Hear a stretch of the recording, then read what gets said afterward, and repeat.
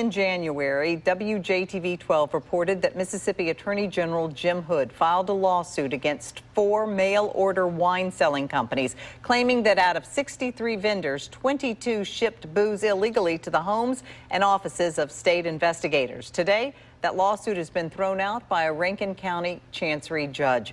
The suit was dismissed by Rankin County Chancery Court Judge John S. Grant III. In the ruling, Grant announced that the state does not have the authority to pursue the businesses. The companies addressed in that suit claim that the alcohol is sold in their own home jurisdictions and then legally belongs to the customer once the alcohol is shipped.